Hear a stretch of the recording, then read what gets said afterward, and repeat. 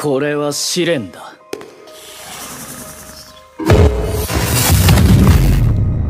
過去に打ち勝てという試練と俺は受け取った。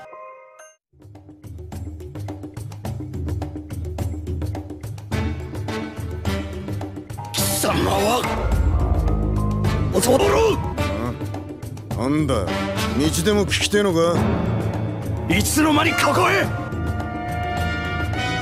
一味を抜けるってのはそんなに簡単なことなのか？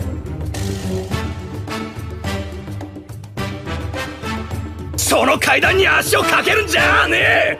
俺は上貴様は下だ！降りかかる火の粉は払わせてもらうぜ